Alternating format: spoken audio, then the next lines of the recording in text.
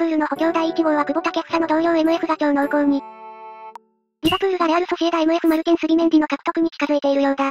複数現地メディアによると、移籍には6000万ユーロ約93億円の放出条項を全額支払う必要があるため複雑になっているという。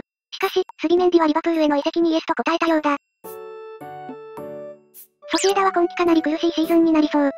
久保のリバプール移籍はやか。これで久保の移籍の可能性はほぼなくなったかな。スポニチの久保のリバプール行きの記事はスビメンディと勘違い？まあそうなるよな。ビッグクラブに行くべき選手だよ。今までバルサや他ビッグクラブからのオファーも断り続けてきたラレアル愛の強いスビメンディがねえなぜ今更移籍する気になったのか全然わからん。スビメンディ取ったにしても遠藤を出す必要はない。